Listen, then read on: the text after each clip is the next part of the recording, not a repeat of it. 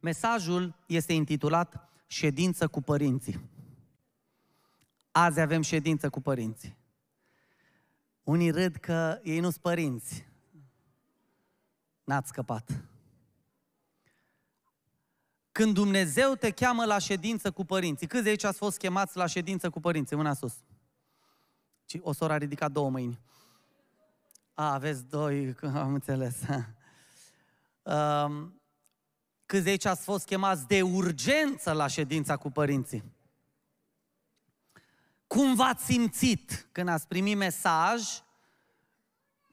și vi s-a scris bună ziua, domnul Tony Berbece, trebuie să veniți de urgență la școală pentru că avem de discutat o situație. La 38 de ani ai mei m-am dus la școală cu pălmile, palmele transpirate. Mă ștergeam, bună ziua, bună ziua. Nu mai eram pastorul Tony Berbece care, știi, pieptul în față, bună ziua, să rămână, să rămână, bună ziua. Întotdeauna când auzi ședință cu părinții, e ceva înfiorător. E ceva îngrozitor. Mai ales când uh, venea mama de la ședința cu părinții. Ați mâncat vreodată ciorba cu lacrimi? Câți de aici ați mâncat, v-ați mâncat ciorba cu lacrimi? Jumătate din lingură ciorbă, jumate lacrimi. Mai multe lacrimi decât ciorbă. Da? cu suspine mi-am mâncat, cu suspine negrăite, că n-aveam voie să grăiesc. Trebuia doar să suspin. Cu suspine de uh, jale și durere am mâncat multe ciorbe după multe ședințe. Însă eu am fost mai cumințel așa, am avut frați mai răi. uh, ședința cu părinții e ceva foarte serios. Ședința cu părinții este ceva foarte serios. Dumnezeu ne cheamă în ședință și trebuie să dăm socoteală de ceea ce facem. Astăzi vreau să vorbesc despre uh, câteva categorii de părinți fizici cât și spirituali. Că da, s-am spus, n-ați scăpat, da? Și unul de aici n-a scăpat. Am citit cuvântul Domnului și în primul și în primul rând vreau să vorbesc despre ședința lui Dumnezeu cu prorocii. Ședință cu prorocii. Ați auzit de proroci? Câți de aici ați auzit de proroci? Ok, Dumnezeu să vă binecuvinteze. Prorocia este unul dintre cele mai, pot spune, grele daruri spirituale. Unul dintre cele mai responsabile daruri spirituale. Mulți își doresc să fie proroci și Apostolul Pavel ne îndeamnă și ne spune, dar căutați mai ales să, zice stare, să prorociți. Adică să vorbiți cu Dumnezeu, să vorbiți din partea lui Dumnezeu. Căutați să prorociți. Foarte multă lume vine la mine și îmi spune, frate Tony, pastor Tony, am nevoie de un cuvânt din partea Domnului. Spunem ce trebuie să fac. Spunem în ce direcție să mă duc. Cineva a venit la mine de curând și îmi spune, frate Tony, uh, spunem ce trebuie să fac. Am nevoie de un cuvânt din partea Domnului să mă duc în America, să-mi las jobul și casa și tot familia aici și să mă duc în America la o slujire acolo sau nu? Oameni buni, nu e ca și cum i-ai dat sfat, ă, dragă, ce rochie să iau azi? Roșie bombon? Nu, roz bombon sau roșu sânge de taur? Nu e uh, uh, ca și cum ai alege o garderobă sau o mașină de 3 cilindri în V sau 6 cilindri în V. Dau și eu exemple. Nu! Este vorba de destinul și, în definitiv, mântuirea omului. Mă auziți? Mântuirea omului.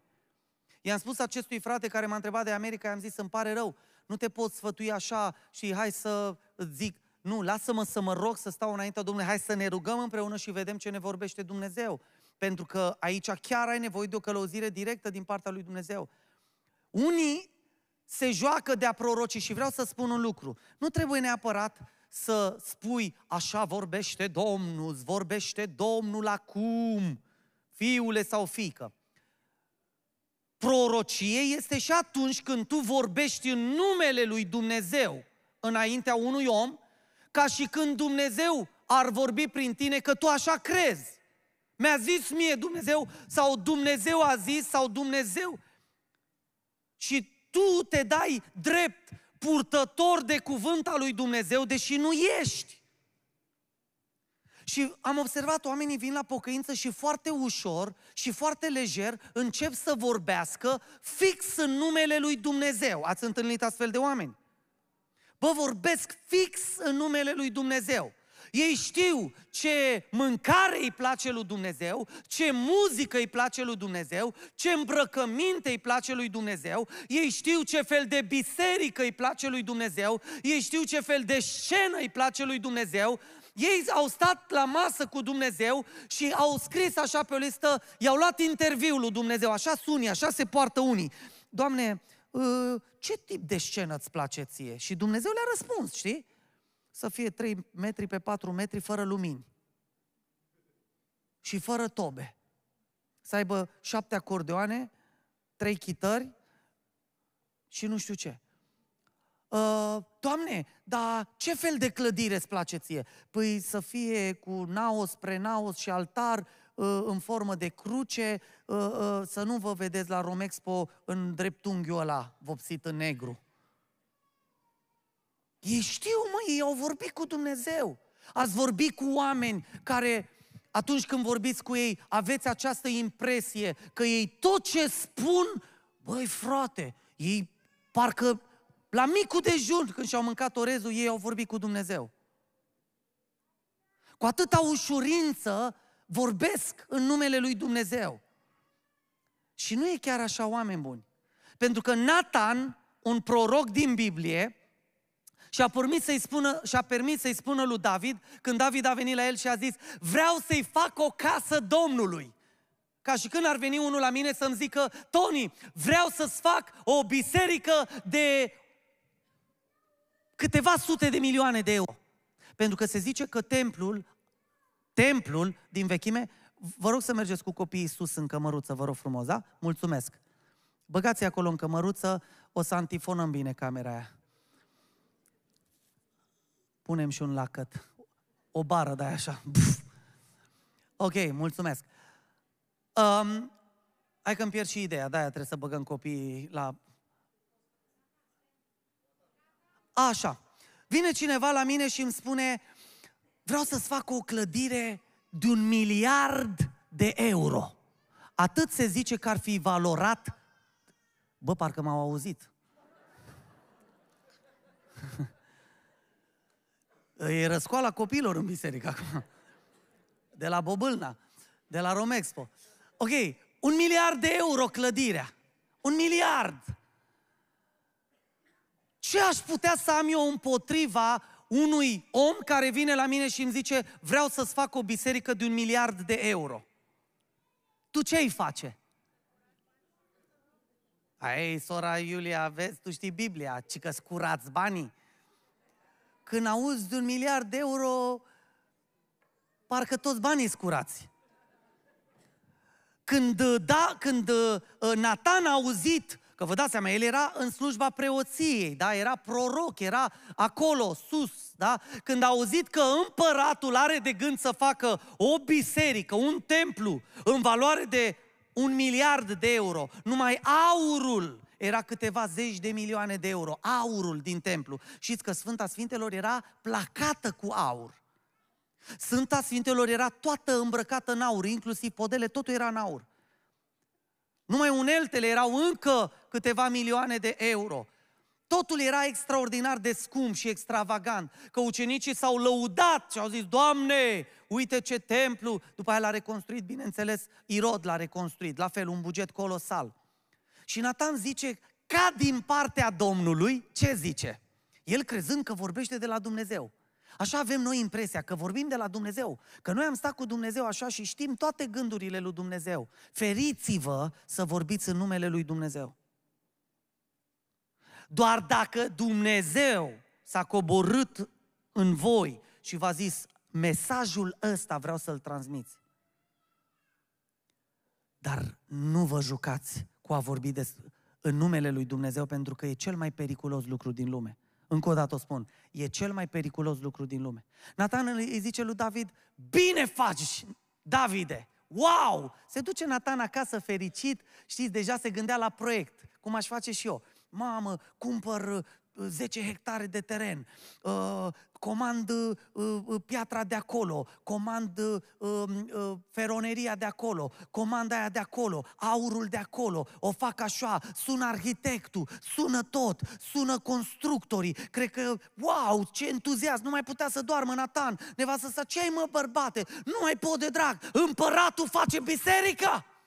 Și se culcă Nathan, entuziasmat, adrenalina la maxim și zice domnul Nathan, da, du-te la David. Poftim? Mărim bugetul? Zice, nu, nu. El nu va face niciun templu. Dar cum să-i zici acum? Că eu i-am zis da. Nu, nu, nu, du-te și zi că tu i-ai zis da, dar eu îi zic nu. Și știi, te duci a doua zi, știi, uh, uh, sora uh, Iuliana, da, Sora Cristina, frate ă, Marian, da, știi că ieri ți-am spus ca din partea Domnului că Domnul mi-a zis, da, du-te și fă. Așa și? Domnul mi-a zis, de fapt, nu mai fă. Poftim? Poftim. Nathan a trecut prin această experiență în care a învățat o lecție foarte serioasă. Că Dumnezeu poate să gândească foarte diferit de tine. Nu mai sunteți voi, nu vă mai dați voi experți în gândirea lui Dumnezeu, experți în ce crede Dumnezeu, experți în... Și ne uităm aici în cuvântul lui Dumnezeu și dă-te rog frumos la Ezechiel 13, ședință cu prorocii. Direct ședință cu prorocii și nu-i doar un capitol din Biblie. Și Ieremia face ședință cu prorocii. Dar vorbim de Ezechiel acum și ne rezumăm la Ezechiel. Ezechiel 2, 13 cu 2. Fiul omului prorocește împotriva, zice stare. Oameni buni, prorocește împotriva prorocilor. Să știți că lucrul ăsta nu prea se, se întâmplă în biserici. Prorocește împotriva prorocilor. Păi stai, Doamne, cum adică prorocii nu vorbesc în numele Tău? Nu toți. Stai, Doamne, nu poți să le vorbești Tu direct? De ce nu le vorbești Tu direct prorocilor? De ce mă pui pe mine proroc să le vorbesc altor proroci? N-aud toți vocea ta? Și răspunsul vostru care este? Nu! Nu! Hai să citim. Fiul omului prorocește împotriva prorocilor lui Israel care prorocesc și spune celor ce prorocesc după, zice stare, gustul inimilor. Subliniați în Bibliile voastre gustul inimii. Ce-i gustul? Ce e gustul? Poftă. Nu e, gustul nu-i poftă. Gustul este plăcere specifică. De exemplu, uh, gustul produce poftă, că dacă cunoști gustul, mai apoi se produce poftă. De exemplu, eu când zic sarmale, sarmale, sarmale. Nu mai zic? Smântâna și ardei. Voi știți gustul? Câți de știți gustul? Pentru că știți gustul, vi s-a făcut ce? Poftă. Dar dacă zic ciorbă de burtă, cui nu-i place ciorba de burtă? Mâna sus, cui nu-i place? Și fiți atenți ce facem aici. Bătălia sarmalelor cu ciorbă de burtă. Unora le place ciorba de burtă, altora nu le place ciorba de burtă. Și vă dau un exemplu absurd, absurd, absurd, dar îl transpuneți în lumea spirituală. Vin unii și zic, așa vorbește Domnul, eu sunt împotriva celor ce mănâncă ciorbă de burtă. E după gust. Dar ei vorbesc în numele lui Dumnezeu după gustul și pofta lor. Mă auziți? Da, cum să mănânci, mă, uh, uh, stomac de vacă?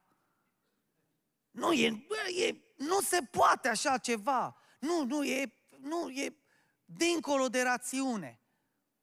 Am cunoscut oameni care nu, nu suportă să mănânci lângă ei ciorbă de burtă. A ridicat o soră mâna. Bine că mi-ai zis. E, așa se face în biserică de multe ori. Unul care, de exemplu, nu suportă toba și se ridică și zice, așa vorbește Domnul. Sunt împotriva celor ce cântă și uh, la tobă și cântă cu toba.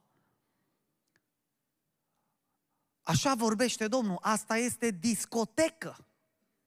Așa vorbește Domnul. Asta este lumea și v-ați lepădat de mine. Ați întâlnit proroci care prorocesc din gustul și pofta inimilor, da sau nu? A, a zis bine Domnul, bravo, a zis bine Domnul, i-a zis bine Domnul lui Ezechiel. Prorocește împotriva celor care prorocesc după gusturi muzicale, după gusturile modei, după gusturile ochilor, după gusturile sentimentelor lor. Unii, de exemplu, preferă închinarea foarte moale, tărăgănată, plângăcioasă. E un gust al inimii. Unii preferă închinarea pe ritmuri de muzică etno, etno-TV. Dacă au copilărit cu, cu uh, și v-am mai spus, au copilărit cu uh, uh, Dolănescu, cu alte cânt, alți cântărezi de muzică populară. Când vin la credință, să vă spun un lucru. Găsești muzică etno, muzică populară, creștină. Fratele, uh, cum îl cheamă? S-a întors la, la Hristos socrul meu. Ovidiu Liteanu, mulțumesc, a, a plecat la Domnul. Ovidiu Liteanu. El cânta muzică populară. Eu nu știu dacă aș fi fost vreodată cercetat, doar să facă Dumnezeu o minune. Nu e gustul meu. Nu e gustul meu. Nu m-aș fi, nu, adică, ok, ascult, respect, dar ascultă-mă, nu e gustul meu și atunci nu pot să prorocesc să zic, așa vorbește Domnul, toți cei care ascultați muzică lăutărească în biserică, sunteți lepădați de la fața mea, plecați de la mine că nu vă cunosc. Cei care ascultați worship în biserică, plecați de la mine că nu vă cunosc. Oameni buni, nu mai prorociți după gustul inimii voastre. Lăsați-l pe Dumnezeu să vorbească. Lăsați-l pe Dumnezeu să vorbească.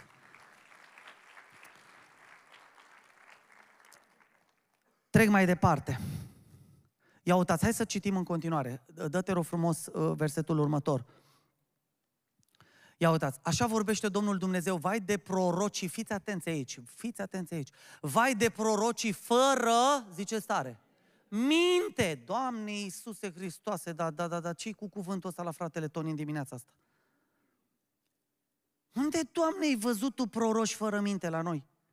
Ai, Doamne, las-o că pe asta nu mai cred. Proroci fără minte?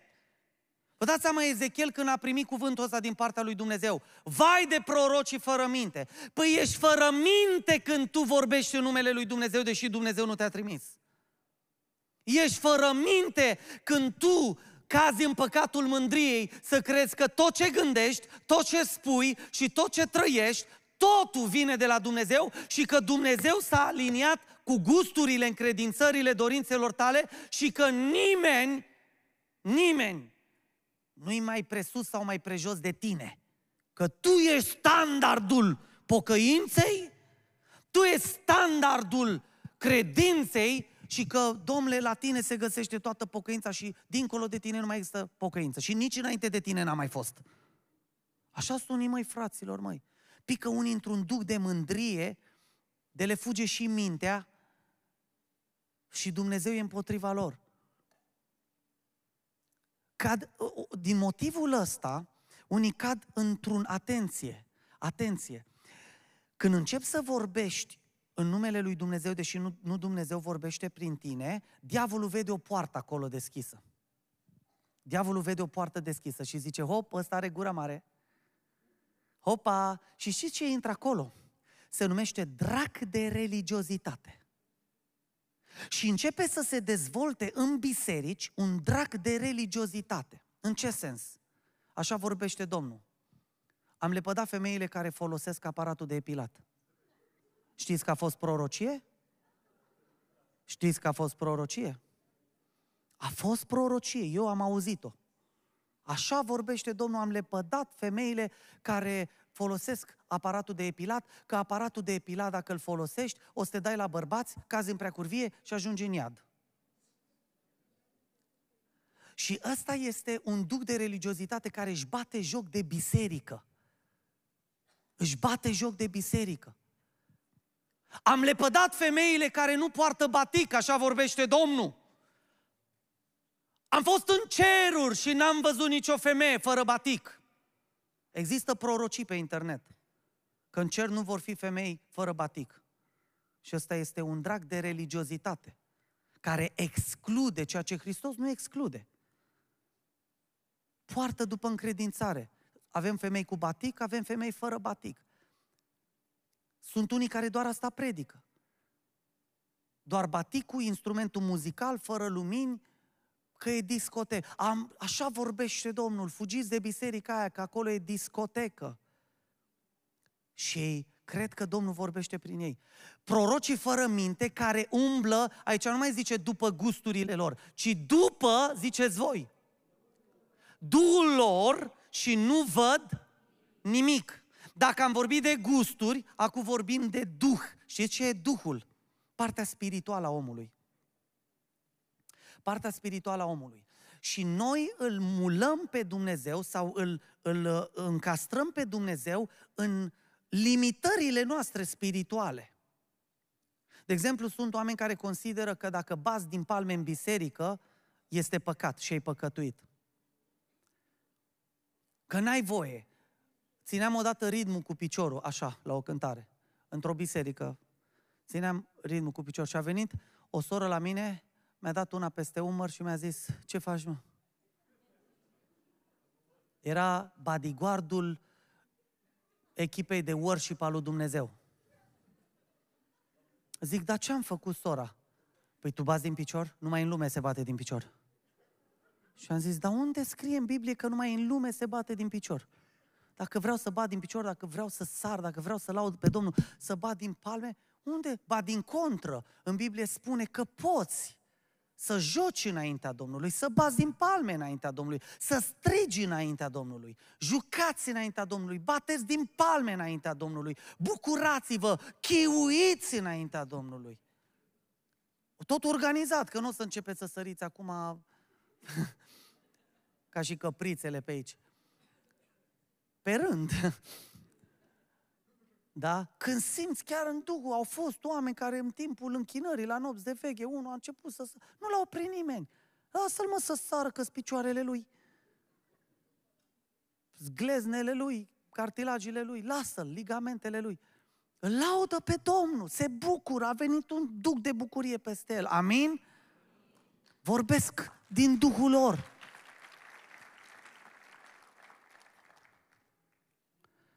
Ezechiel 13 cu 21, fiți atenți aici, 21, 22 și 23 și închei despre proroci.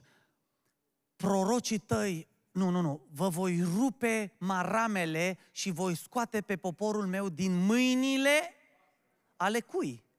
Ale prorocilor falși, care prorocesc după gusturile și duhurile lor, care au făcut o biserică după chipul și asemănarea lor, nu după chipul și asemănarea lui Hristos. Vă voi scoate poporul meu din mâinile, vo- din mâinile lor, din mâinile prorocilor, ca să nu mai cadă pradă în mâinile voastre și veți ști că eu sunt Domnul. Pentru că fiți atenți aici, 13 cu 22. Și luăm așa separat. Pentru că întristați prin minciuni inima celui neprihănit. Ne oprim aici. Ne oprim aici. Cât de des se întâmplă asta în biserici? Hai să citim împreună. Pentru că întristați prin minciuni inima, întristați prin minciuni inima celui neprihănit. Nu lăsați pe cel neprihănit să se bucure de credință. Voi aveți omenire în viață. Un frate predicator, pare mi se că fratele Lascău, i-a numit pompieri. Pompierii spirituale ai bisericii. Cum văd, cum văd un foc în biserică? Cu spumă spirituală pe el. Stinge-i focul, stinge-i Duhul, nu lăsa să se bucure. Repet, nu e ca la nebuni aici, că știm asta. Nu o să începem aici să sărim pe pereți. Dar să lăsăm bucurii, lăsați bucuria să vină, nu? Un duc de bucurie, de închinare în prezența Domnului. Tot în rânduială și în bucurie, în bucuria Duhului Sfânt. Când eu însumi nu l-am întristat, și aici apare o altă propoziție complementară. Și pentru că întăriți mâinile celui rău, ca să-l împiedicați să se lase de calea lui cea rea, făgăduindu-i viață. Și se întâmplă ceva. Am descoperit o taină în versetul ăsta. Oameni buni, fiți atenți aici ce se întâmplă. Oamenii din biserici nu se mai concentrează pe propovăduirea pocăinței și să îi slăbească mâinile celui păcătos ca să nu mai facă răul. Ci ei ce fac? Îl sting pe ăla neprihănit care îi plin de râvnă, dar nu îi sting râvna pentru păcat a celui care zace în păcat. Scopul este ce? Ne îndreptăm spre un scop fals al pocăinței. Batice, cântări, lumini, tobe și ne batem în biserică pe ce? Pe batic, pe tobă, pe lumini, pe scene, pe îmbrăcăminte, pe lucrurile exterioare, cu barbă și fără barbă, v-am mai spus, frate Toni, acu te iubesc. De ce? Te-ai bărberit. Am dezamăgit-o pe sora respectivă că i-am spus, nu m-am bărberit, mi-am scăpat mașina de tuns în barbă. Și am dat până la urmă așa la 0,5. Și pentru că preocuparea ta este să lupți pe un câmp fals de luptă, tu nu mai ai timp să propovăduiești pocăința. Mă înțelegi? Tu când vezi o femeie, și v-am mai zis asta, tu când vezi o femeie pe stradă, scopul tău numărul unu este cum să-i smulgi cerceii și să-i pui batic în cap. Și în loc să o iei cu pocăința, cu Hristos, care iartă păcatele, cu mântuirea, cu salvarea, în loc să te rogi pentru suferințele, durerile ei, tu nu faci altceva decât să urmărești un scop pământesc care moare odată cu întrebuințarea lui. Îmi scrie o soră, am botezat o soră care are, uh, avea acid de ăsta, hialuronic în buze. Botox, cum se mai numește. Oameni buni. E treaba fiecare. Am botezat-o pe sora aceasta, a venit cu botox la botez. Nici n-am văzut. Că ochiul meu, n-am văzut nimic vulgar, nimic uh, nepotrivit. Noi am zis, soră, așteaptă să ți, ți se topească acidul hialuronic din buze și te botez. Cum ar fi fost? Vă întreb, ar fi fost bine? Scrie o soră pocăită, comentariu, și zice, are un bot de iapă. Are botul ca de iapă. Vai, Doamne, Doamne, ce a ajuns pocăința! Aș da drumul la microfonul ăsta, dar nu pocăi scump. Buf! Mi-a pus capac sora asta. Îi zic, soră, atât de multă înțelepciune n-am văzut nicăieri. Nicării. Mă, cum să zici, mă, așa ceva unui om care vine din lume să se boteze cu acid hialuronic în buze? Îi zici că are bot de apă? Mă, nu te duce mintea, mă? de zice Biblia, îi zice lui Ezechiel, ședință cu prorocii. Băgam prorocii în ședință. Am ceva împotriva prorocilor fără minte. Păi ăsta e un proroc fără minte. Ăsta e un proroc fără creier. Fără discernământ mental nu mai pun spiritual. Am ajuns să, știi, Păi stai mă, lasă-mă femeia să se întoarcă la Hristos. Lasă-o să intre în apa botezului. Vă dați seama, nu știam cum să mai șterg mesajul, nu știam cum să mai blochez persoana. Am să nu zică și de mine ceva. O vedea și la mine ceva. Mă, nu se poate așa ceva, măi, oameni buni. Ce a ajuns pocăința noastră, oameni buni? Am ajuns niște niște comentaci fără minte pe Facebook. Am ajuns niște oameni fără discernământ mental, nu mai vorbesc de spiritual. Păi câtă pocăință e în tine dacă tu o faci pe femeia zdrobită care vine la botez, o faci iapă. Câtă minte e în tine. De-aia, oameni buni, Dumnezeu trebuie să ne bage în ședință urgent. Dumnezeu trebuie să ne bage în ședință. Că nu mai avem nici minte, nici discernământ și cu toate că nu avem minte și discernământ, mai vorbim și numele Lui. Mi-a zis mie Dumnezeu. E, na! Ți-a zis ție Dumnezeu. Ce ți-a zis ție Dumnezeu? Ia! Cum ai vorbit tu cu Dumnezeu? Măi, oameni buni, când vorbești cu Dumnezeu, vreau să spun un lucru. Nu mai vorbești ca un om fără minte. Când îți vorbește Dumnezeu, vorbești cu toată înțelepciunea lui Dumnezeu. Când, când ai venit cu un sfat, o poruncă de la Dumnezeu, păi ai simțit că ți-a vorbit Dumnezeu, ai simțit dragostea, ai simțit pasiunea, ai simțit Duhul de pocăință. Nu pleci și nu fugi jignit și cu inima frântă. Rămâi spre transformarea vieții tale, glorificat să fie Dumnezeu. Trebuie să intre proroci în ședință, da sau nu? Doamne, bagă-ne pe toți în ședință. Bagă-ți prorocii din toate bisericile în ședință. Nu uitați, Ezechiel 13 cu 12, fiul omului prorocește împotriva prorocilor lui Israel care prorocesc și spun celor ce prorocesc după gustul inimilor și spune celor ce prorocesc după gustul inimilor din Duhul lor și fără minte. Dumnezeu să ne curățească bisericile de proroci fără minte. Încă o dată o spun, Dumnezeu să ne curățească bisericile de proroci fără minte. Avem nevoie de proroci care să vorbească direct din gura lui Dumnezeu. Avem nevoie de proroci sfinți. Căci mai există un pericol și vreau să mă raportez și la pericolul acesta, când amesteci cuvântul lui Dumnezeu. Ți-a zis Dumnezeu ceva, dar mai baci și de la tine. Mai există și riscul ăsta.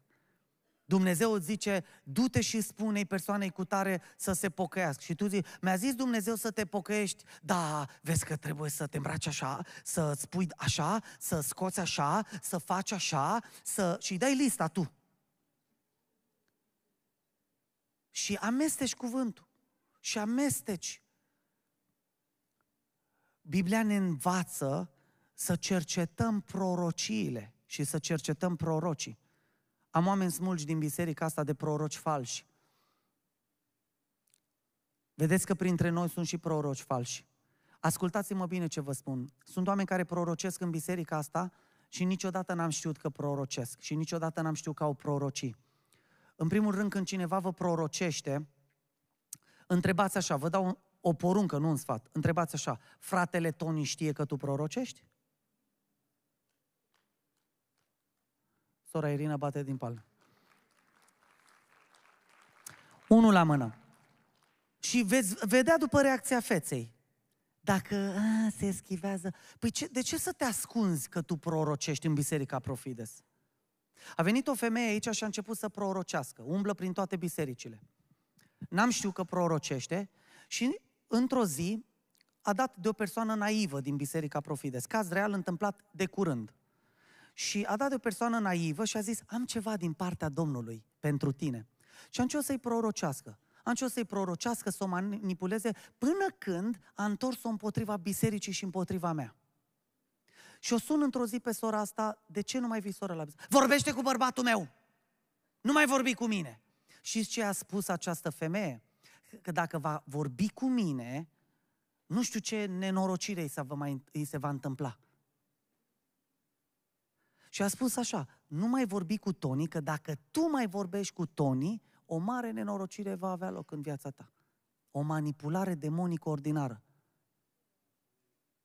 Femeia aceasta nu mai vine la Profides, nu vrea să vorbească cu mine, nu vrea reabilitare și știți ceva, știți ce se va întâmpla? Știți care este soarta unei astfel de persoane? Din păcate va ajunge abuzată spiritual, poate chiar escrocată și va ajunge rău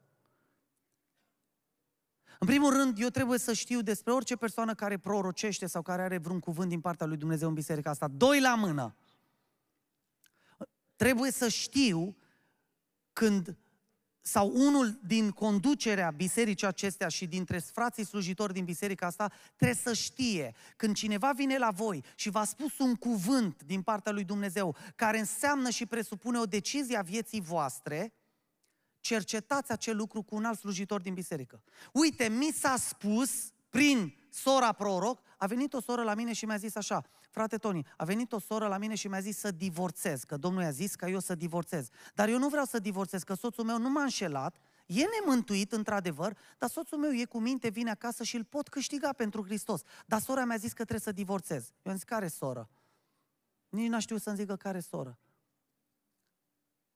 În Biserica Profide s-a întâmplat asta. Oameni buni, ascultați-mă.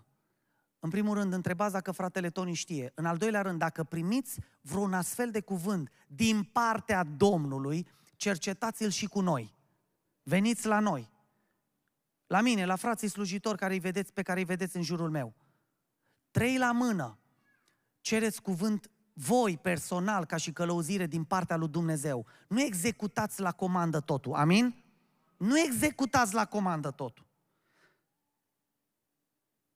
Cereți de la Dumnezeu, mai cereți încă o confirmare de la un alt proroc pe care îl știți autentic, de la noi slujitorii lui. Nu executați la comandă, pentru că s-ar putea să executați fix porunca diavolului. V-am spus când a venit o soră la mine foarte sfioasă și mi-a zis, am un cuvânt din partea Domnului. Ce? Domnul îmi zice să-ți închizi Facebook-ul, Instagram-ul? Pentru că păcătuiești prin Facebook și Instagram, că le ai, tu păcătuiești înaintea mea, zice Domnul, așa mi-a zis. Închide-le! Câți ați venit în urma vizualizării predicilor pe internet? Mâna sus. Mai, mai bine, vă spun, mai bine de jumate din biserică. Ați urmărit mai întâi pe internet. Ce vedeți aici, lucrarea pe care o vedeți aici, este o lucrare mult mai mare, de zeci de mii de oameni care ne urmăresc. Știți ce viza diavolul? Să minimalizeze aproape de zero impactul acestei lucrări. Dă din cap o soră care a venit în urma internetului la noi. Vedeți cum cât de parșiv e dracu? Cum mi-a zis mie dracu numele Domnului? Atenție, închideți Facebook-ul. În numele Domnului mi-a zis. Știți cum se numesc ăștia? Știți cum se numesc ăștia? Vrăjitori proroci falși. E a treia categorie. Una este să pro, e grav să prorocești din gustul tău, e grav să prorocești din încredințările tale spirituale, dar trei, poți să prorocești dintr-un duc de vrăjitorie. Adică când satana se folosește de gura ta să spună un lucru, că te-a găsit slab de minte și slab de gură. Fiți foarte atenți în numele Lui Iisus Hristos, vă rog. Amin? Trec mai departe. Ședință cu păstorii sau preoții acestei națiuni. Păstori și preoți. Eu mă adresez nu doar uh, neoprotestanților, protestanților uh, care au titulatura aceasta de pastori. Eu mă adresez și uh, ortodoxilor, catolicilor, romano-catolicilor, greco-catolicilor, care au titulatura de preot. Că și mie, când am fost ieri în Galați, ă, toată lumea îmi zicea, părinte, părinte, părinte, părinte. I-am lăsat să-mi zică părinte. Dragă, preoți, uh, uh, nu știu cum mi-a zis o doamnă, a vrut să-mi pupe mâna, dar i-am pupat-o eu pe ei, i-am zis, la București la noi nu se pupă mâna la părinte. La București la noi părintele pupă mâna la, la uh, enoriași. Și nu mai știu cum, sărăt mâna. Avea o expresie foarte simpatică, mi-a plăcut de doamna. Și um, asta vreau să vă spun, mă adresez celor care sunt preoți și pastori. Și hai să dăm, dăm un cuvânt aici, te rog frumos, tot la Ezechiel, Ezechiel 34 cu 1, în jos. Ezechiel 34, 1. Și fiți atenți aici cum trebuie să fiți păstoriți de cine trebuie să fiți păstoriți. Cuvântul Domnului mi-a vorbit astfel. Fiul omului prorocește împotriva, zice stare. Mă, Ezechiele, mă, nu ți-a ajuns că ai proroci contra prorocilor? Ce ai, mă, cu păstorii, mă? Ce ai, mă, cu... Și vreau să vă spun un lucru. Aici și acum, putem să introducem și păstorii. Vedeți ce zice cuvântul lui Dumnezeu? Păstorii, zice stare, expresia, păstorii, încă o dată, păstorii, păstorii, cei care păstoresc sufletește turma lui Isus Hristos.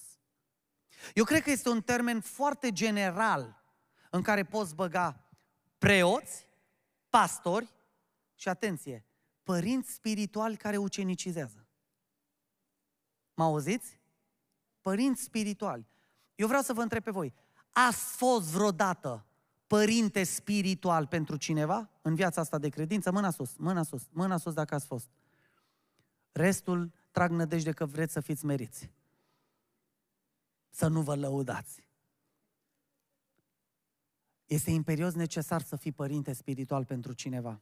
Să ajungi la rândul tău să fii spirit, părinte spirit, să crești pe cineva. Cine, cineva să crească spiritual în urma ta, din cuvintele tale. Pentru că vreau să vă spun un lucru. Dacă doar eu păstoresc, sufletește, eu sunt un lider care spus de Dumnezeu aici să conduc această lucrare, să uh, urmăresc binele acestei lucrări, să administrez această lucrare, să păzesc această lucrare, să am grijă să fie făcută în disciplină și în curăție. Dar vreau să vă spun un lucru, la rândul vostru trebuie să păstoriți sufletește turma lui Isus Hristos.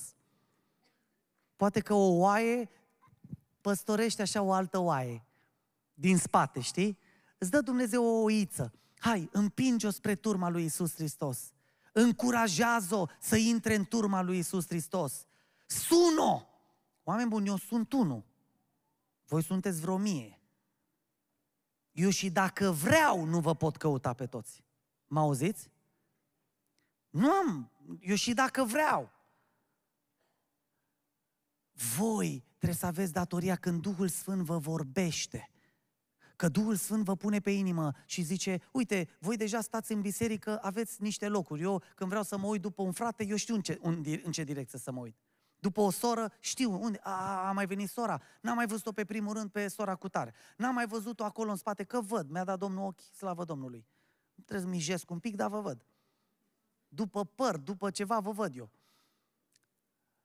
E, te-a așezat Dumnezeu lângă cineva. Nu-l mai vezi, o săptămână, două, trei, ce faci? Ce faci? A, las că trebuie să-l sune fratele Toni, care are pe fișa de membralitate numărul. Pe bune, eu până sun s-ar putea ca omul ăla să moară. Te rogi, îl cauți, îl întrebi de sănătate. E bolnav, du-te, vizitează-l. E la spital, du-te. Nu, fratele Toni, el e păstorul.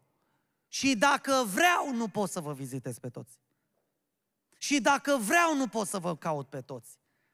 Aveți datoria să vă căutați, amin? Aveți datoria să vă sunați, amin? Aveți datoria să vă ajutați, să vă sprijiniți unii pe alții.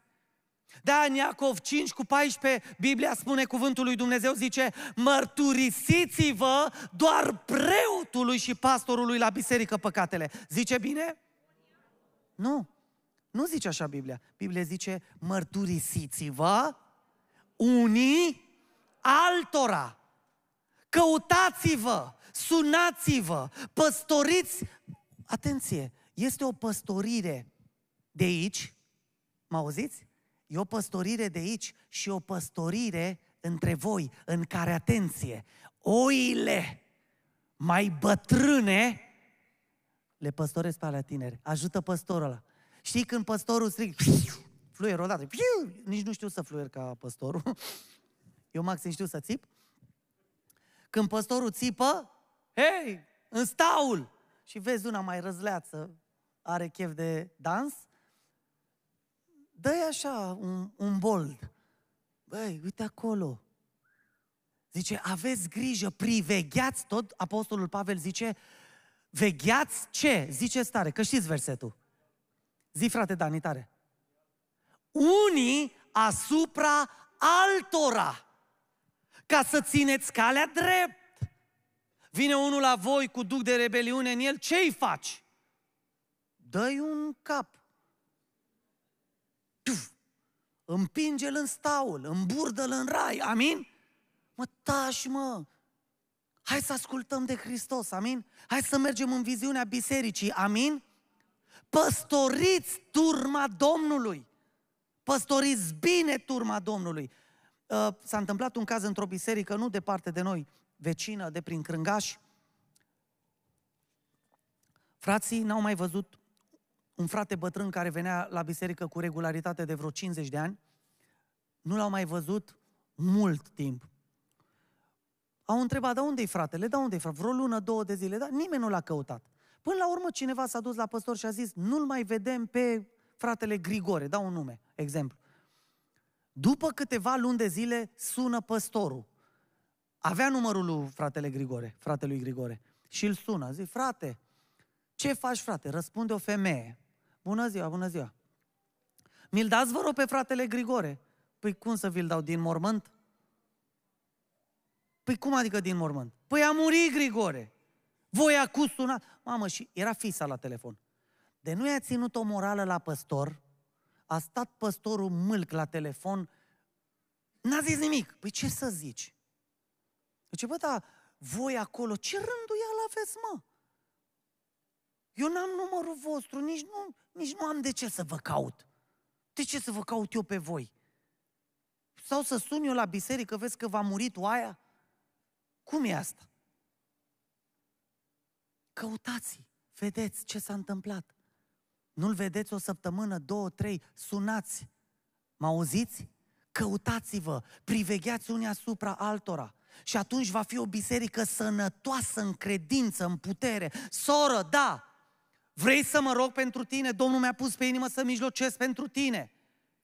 Nu te-am mai văzut de o săptămână. Vreau să vă spun un lucru. Când nu mai vedeți un om de o săptămână, două, trei, o lună, două, trei în biserică, 100%, fără echivoc, acolo este un păcat. 100%, vă spun din experiența mea. Poate n-a căzut sora în prea curvie. Nu, dar a căzut în deznădejde. Și deznădejdea e păcat.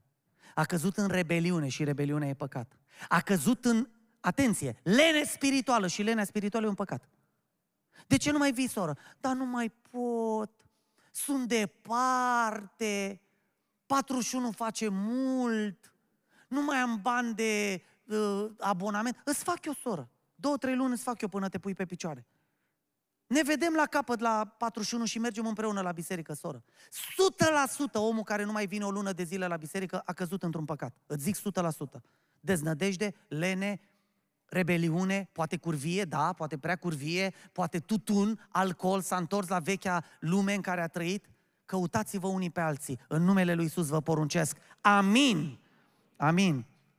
Zice cuvântul Domnului, profețește-le, da, lasă Andrei versetul, Ezechiel 34, uh, 2. Fiul omului profețește împotriva păstorilor sufletiști ai lui Israel, prorocește-le și spune-le lor, păstorilor, așa vorbește Domnul Dumnezeu, vai de păstorii lui Israel care se pasc pe ei înșiși.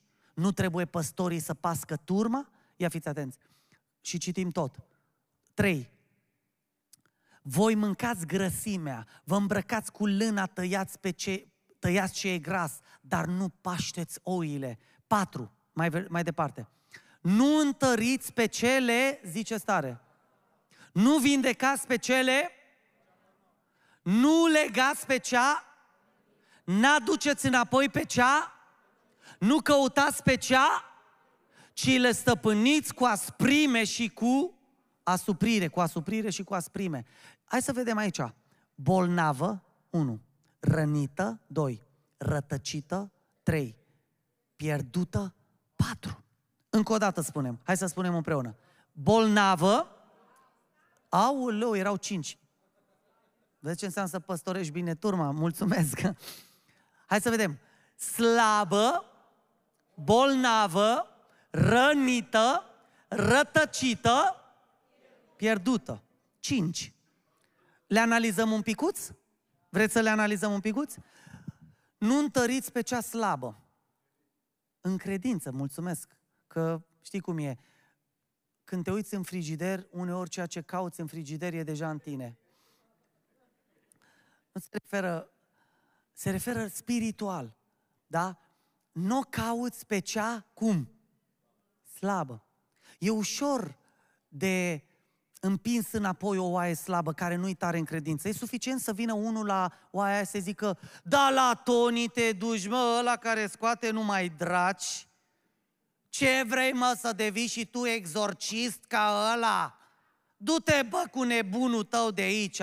Și oaia slabă se înmoaie și zice, a, păi uite ce zic de mine. Nu mai mă duc acolo, că eu, Doamne ferește, să fiu exorcist. Eu vreau să fiu acordionist, nu exorcist. Eu vreau să fiu țambalist, țambalistă. Eu nu, Doamne ferește să scot eu draci. Îmi zice uh, o persoană pe internet, să te ferească Dumnezeu să transform biserica aia într-o biserică de exorciști. Și am zis să te mustre satano. În numele lui Isus Hristos, în numele meu veți scoate, în numele meu veți scoate, asta scoatem noi, amin? În numele lui Isus Hristos, slavă Domnului Isus Hristos. Haleluia! Nu căutați pe cea slabă. Nu vindecați pe cea bolnavă. Am avut o experiență ieri foarte, foarte răvășitoare. Am bătut la o poartă și aș vrea să continui să mă rog și aștept ca, ca femeia aceasta să fie vindecată. Chiar aștept semne și minuni din partea lui Dumnezeu. Mai aveam două adrese de vizitat. Ieri am fost în Galați cu uh, șase dube pline de oameni și alimente și materiale de construcții, foi de rigips, găleți de lavabilă, paleți de glet, de ciment. A fost ceva extraordinar. Pensule, bidinele, tot felul de lucruri extraordinar de valoroase pentru oamenii aceia. Și ne-am dus din poartă în poartă. Câte, ne uitam în casă, uh, număram eu foile, că mă pricep și la construcții. Mă uitam la perete, ziceam, una, două, trei, în camera asta trebuie 10 foi. Băieți, 10 foi, doi saci de glet, un sac de la un sac de la, șapte pensule, pam, le aduce aici. Aduceau, băteam la basă, uh, a, ne și rugam pentru oameni. Ne rugam, ceream vindecare. A venit o femeie la mine și îmi zice, frate Toni, părinte, așa îmi ziceau, părinte Toni, zic, da, uh, uh, doamna cutare, că îi întrebam cum îi cheamă, uh, da, soțul meu e depresiv, e pe medicamente, vine acum și el că l-am chemat, faceți o rugăciune și pentru el. Părinte, vă rog frumos. Zic, da, da, sigur că da. Venea, venea Domnul. Bună ziua, să trăiți, să trăiți. Se vedea se vedea pe fața lui apăsarea, depresia. Bună ziua, cum sunteți? E, ce să facem, necaz, supărare. Vă dați seama, tragedia prin care au trecut. Să-ți vezi munca agonisită, o viață spălată. Și ce, oameni buni, în, în orice curte ne duceam, găseam găini moarte pe acolo. Un, un miros de putregai Oamenii n-au avut, îi mai găseai rătăcită câte o găină moartă, din fiecare gospodărie, porci morți, oameni morți, au fost găsiți șapte oameni morți, înfășurat, unul l-au găsit înfășurat de stâlp în colțul uh, uh, străzii la benzinărie, om mort înfășurat de stâlp l-au găsit a doua zi. Să vezi tragediile astea, să vezi nenorocirile astea, munca ta, să n-ai unde să dormi, să dormi sub cerul liber, că în casă nu puteai să dormi de umezeală și miros și nămol, să dormi într-un container fără căldură, tragedii, normal că oamenii sunt apăsați. Și am luat sticluța de unde lemn și am, m-am dus la bărbatul acesta și am început să-i fac ungere. Am simțit deodată, uite așa a făcut. A ieșit ceva din el, s-a desumflat. Am zis, Doamne, dacă doar pentru omul ăsta mă rugam, era suficient. Slăvit să fie Dumnezeu. Glorie lui Isus Hristos. M-am dus la penultima casă la care ne-am dus cu toții, am oprit șase dube și o mașină în fața casei. Vă dați seama, s-au speriat oamenii când intram convoiul pe, pe străduțe, peste tot, se speriau oamenii. Veneau și alții, am dat zeci, sute de Biblii, slăvit să fie Dumnezeu. Ne-am rugat pentru zeci de oameni și ne-am dus la o doamnă Mă, oameni buni, Doamna era oarbă, dar știi ce m-a șocat pe mine? Și pisica era oarbă. Avea pisică oarbă. Oameni buni, am simțit un duh de boală în curtea, în viața mea nu mi s-a întâmplat asta. Pe o grămadă de lemne era o mâță oarbă. Zic eu, bă, pisica e, e oarbă. Nu, nu vedea, era, Șocul a fost când a venit proprietara casei și ea oarbă. Oameni buni, când am intrat în curte am simțit un duh de boală, un blestem acolo. Un blestem de orbire. Bă, dacă ai și animalul orb, ce coincidență să fie asta? Și animalul tău de companie să fie orb. am simțit nevoia să mă rog, am simțit atât de puternic nevoia să mă rog, am zis, Doamne, aici trebuie să-ți manifesti puterea.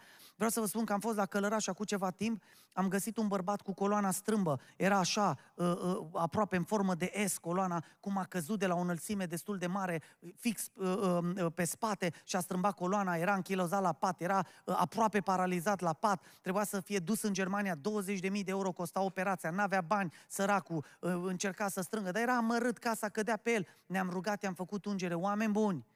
I s-a îndreptat coloana, că ne-am dus peste o lună, avea coloana dreaptă.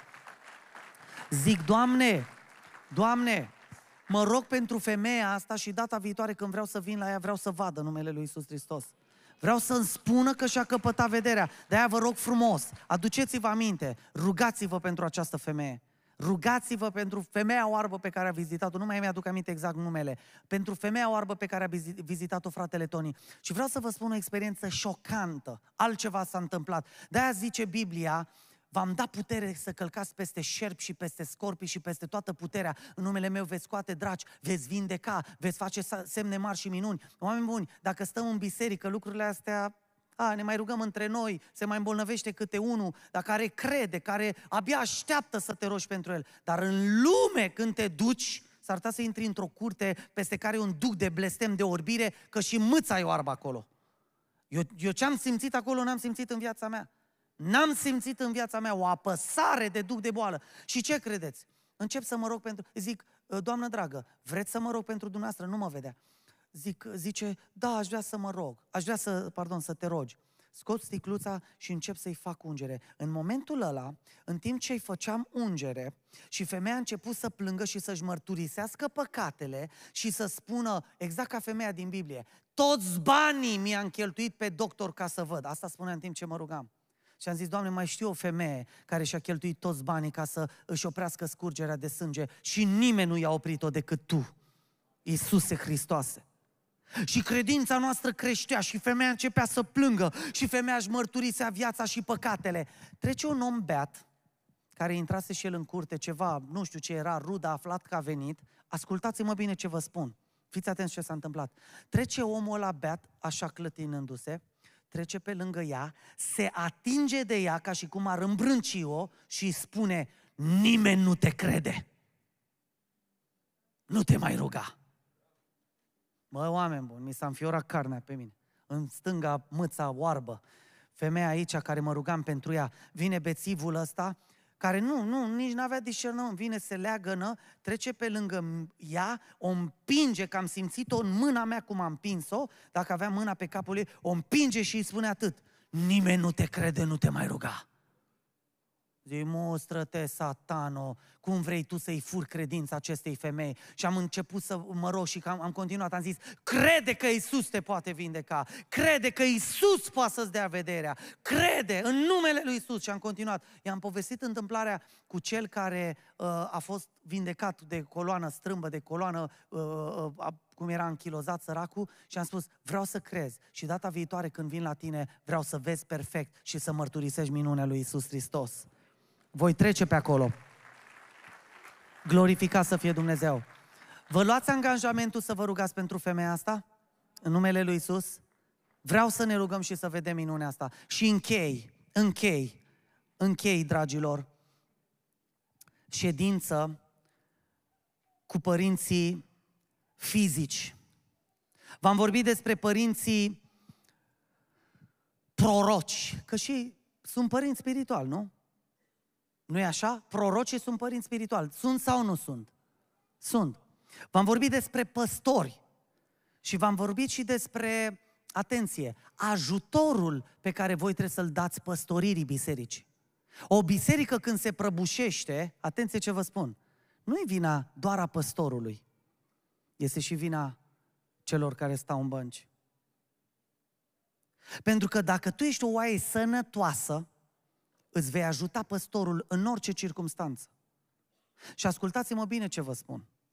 Eram aseară apăsat de griji, apăsat de probleme, apăsat de, de, de multe lucruri, de datorii, apăsat de multe.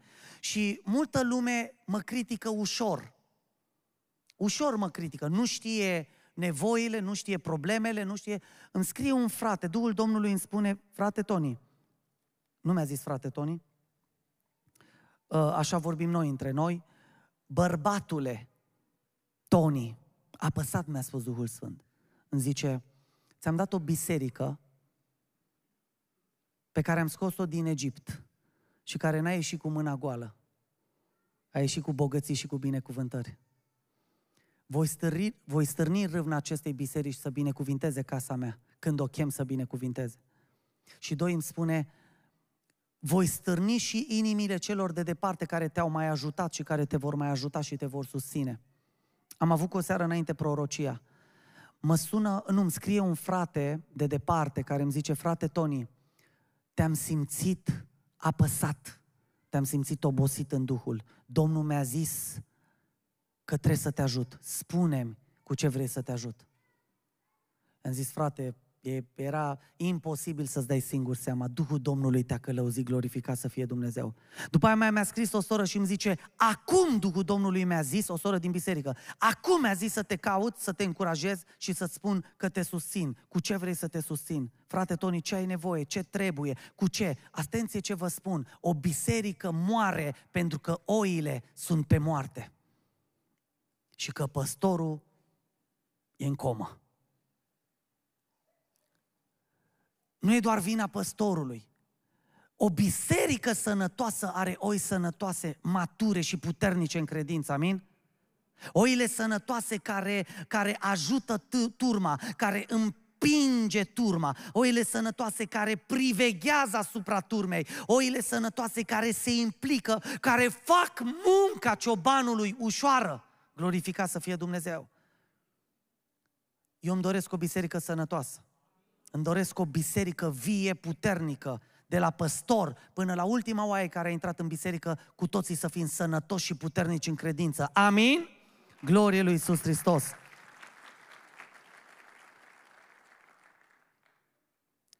Închei ședință cu părinții fizici. Am venit aseară din misiune, am fost la noapte de veche vineri, am terminat la ora 1, m-am dat jos, am adormit pe la 2 jumătate noaptea, m-am trezit la 6 și un pic, la 6. Am venit la biserică, am plecat în misiune, în misiune am umblat în zeci de case, de gospodării, am făcut tot ce am putut să fac, am ajuns la aproape 11 noapte acasă, 10 jumate spre 11, m-am culcat din nou târziu, însă când am ajuns acasă pe la 10 jumate, am rămas uimit de ceea ce am văzut în cartier. Am plecat dimineață și era, toate casele erau normale. M-am întors și jumătate dintre scheleți, morți, la intrare, pe case, la geamuri. Și oamenii ăștia vreau să vă spun un lucru. Se numesc creștini.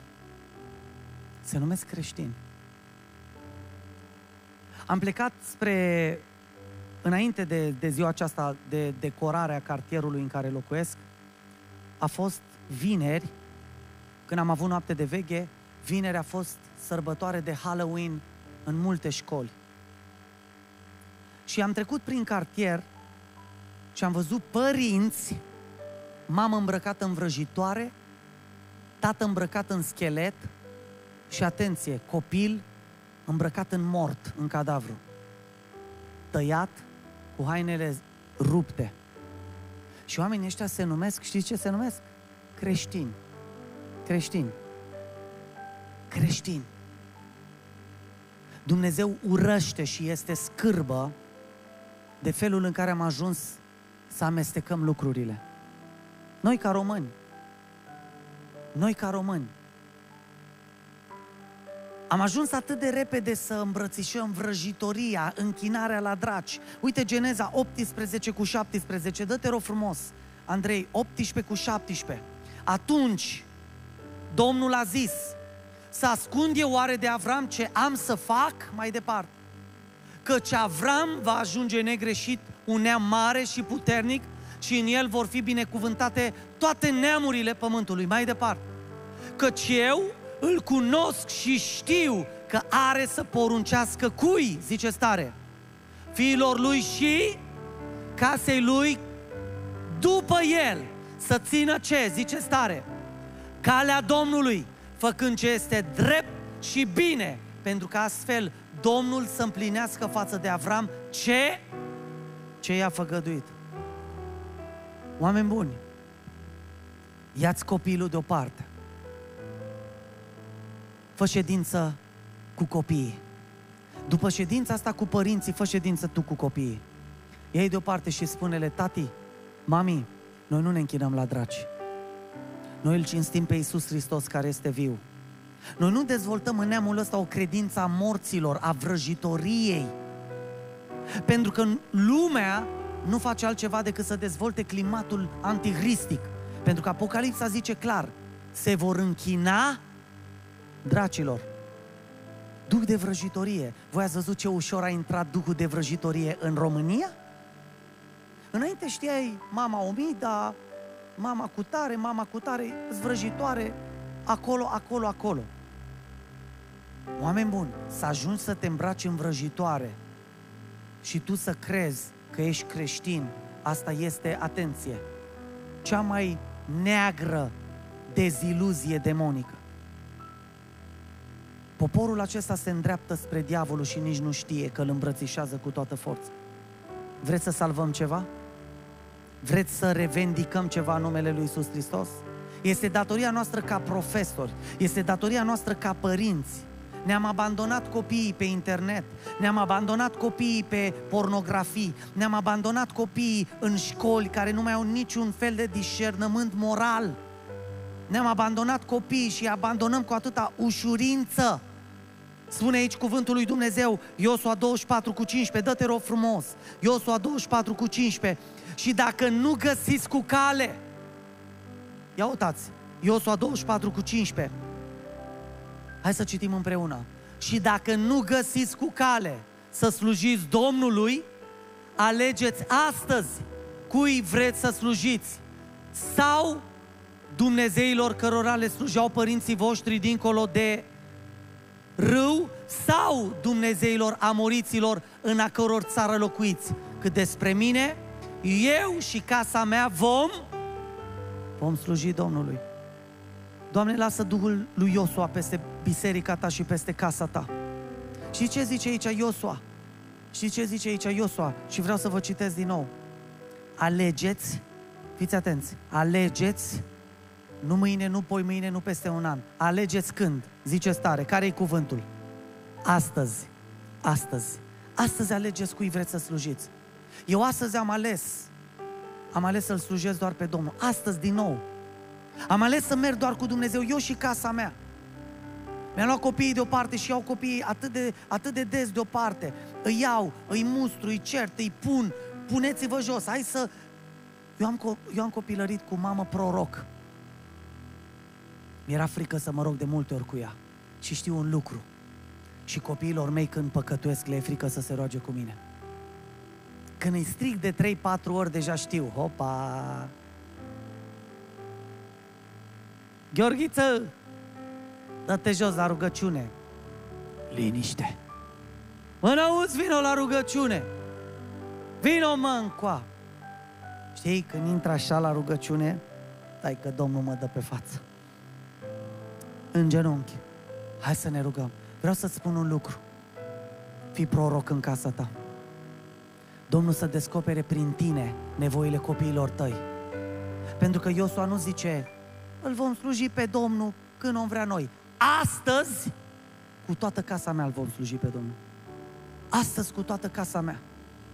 Mi-am luat unul de copii, unul dintre copii l-am luat, l-am luat așa cu grijă, Eram în ușa bisericii. L-am luat, l-am ținut un pic în ușa bisericii și am spus foarte clar, m-am uitat în ochii lui, crescuse, era adolescent deja, m-am uitat în ochii lui și am spus, știi unde ești acum? Știi unde ești acum? Unde te afli acum? La biserică. L-am ținut acolo și am spus, băi băiatule, ascultă-mă bine ce spun. Tu nu-ți bați joc nici de mine, nici de slujirea asta, nici de Dumnezeu. Tu alege cui vrei să slujești. Dar dacă tu nu-L slujești pe Dumnezeu, ascultă-mă bine ce zic. Eu voi continua să mă rog pentru tine, dar tu nu vei mai fi copilul meu. a făcut ochii mari. Pentru că casa mea îl va sluji pe Dumnezeu.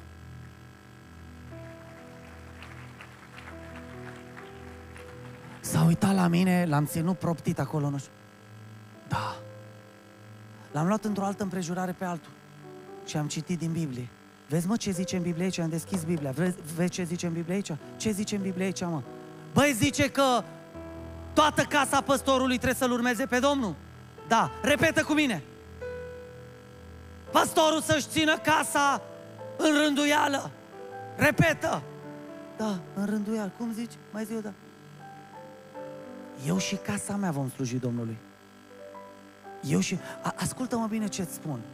Nu, lugu, lugu, știi, dacă vrei, dacă dorești. Vii la biserică. Atât timp cât mănânci, vorba lui mama, din strachina mea, tu îl urmezi pe Dumnezeu meu. Când o să ieși din casa asta, îți iei ce Dumnezeu vrei tu. Dacă timp bagi în gură aceeași lingură ca și mine, tu vii cu mine la biserică. Atât timp cât îmi ceri, tatei, da, vreau 10 lei. Mă, cât stai pe banii mei, tu îl urmezi pe Dumnezeul meu. Când mănânci din farfuria mea, asta înseamnă eu și casa mea.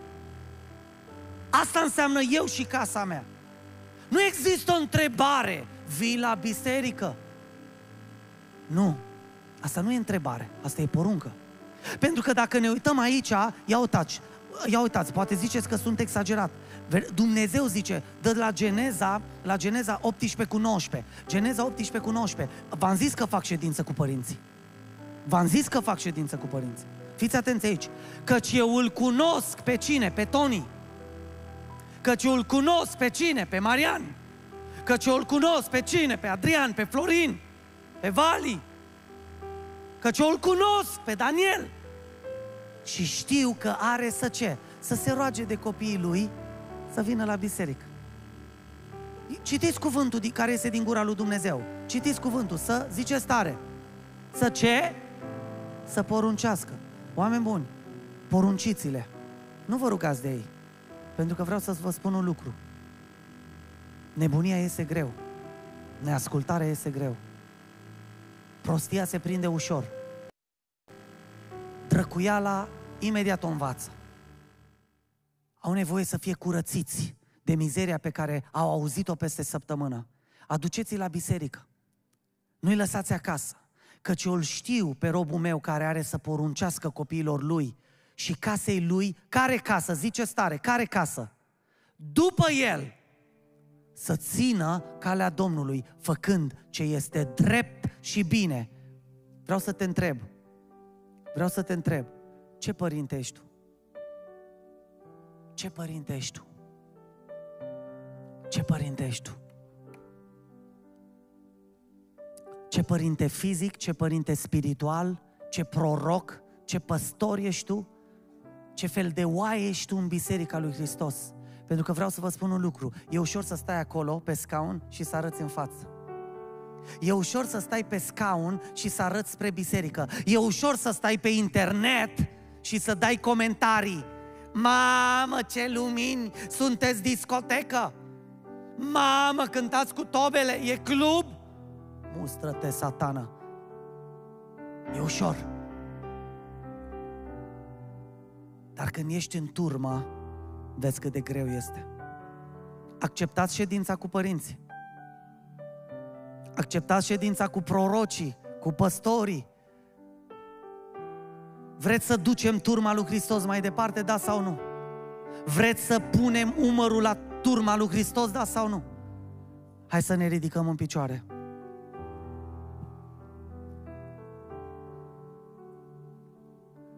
Vreau să ne rugăm și să luăm angajamente noi.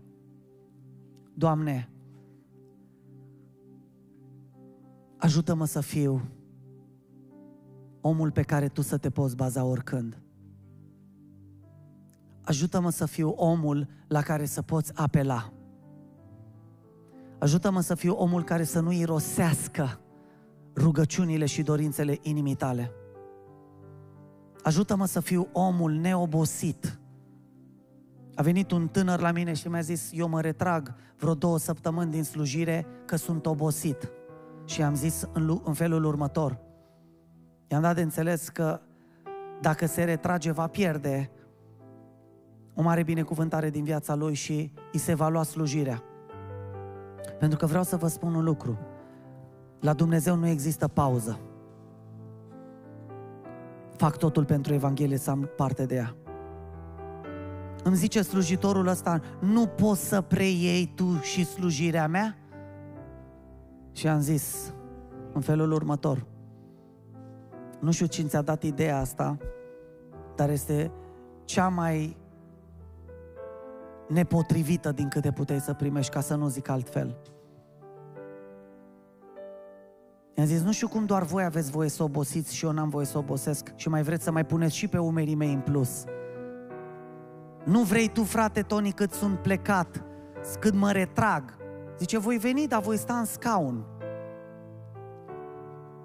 I-am zis, mă, tânărule, am fost vineri la noapte de veche, sâmbătă în misiune, de la 6 la 11 noapte.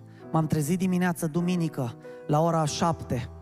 Am venit la biserică, fac repetiții, slujesc, plec 5 ore la Lupeni, predic la Lupeni și în aceeași noapte mă întorc acasă, ajung la 3 dimineața noaptea asta. La 3 dimineața. Și tu ai obosit. Nu știu cum ești, dar dacă ai un duc de oboseală peste tine, vreau să-l mustru numele lui Iisus Hristos. Dacă ai un duc de lene peste tine, aș vrea să-l mustru numele lui Iisus Hristos. Dacă ai un duc de neimplicare și indiferență peste tine, aș vrea să-l mustru numele lui Isus. Doamne, mustru chiar acum lenea, oboseala, neputința, indiferența și neimplicarea de peste biserica ta. Fă-ți o armată, Doamne. Fă-ți o armată care să fie la dispoziția ta oricând. Amin? Vreau să vă mai zic câteva lucruri și după aia cântăm. Știți ce cuvânt și cu asta vreau să închei. Știți ce cuvânt mi-a dat Dumnezeu? Am zis, Doamne, cum să închei predica după ședința asta cu părinții? Și mi-a zis așa Duhul Sfânt, azi noapte. Soția este martoră că m-am trezit. Mi-a zis, nu, nu acum, lasă-mă încă câteva minute, m-am trezit, m-am sculat din pat și mi-am notat sfârșitul predicii. Și Duhul Sfânt mi-a dat un cuvânt pentru voi. Vreți să fiți ajutați individual, dar când se cere ajutorul, vreți să ajutați la grămadă. Mă auziți? Mă auziți?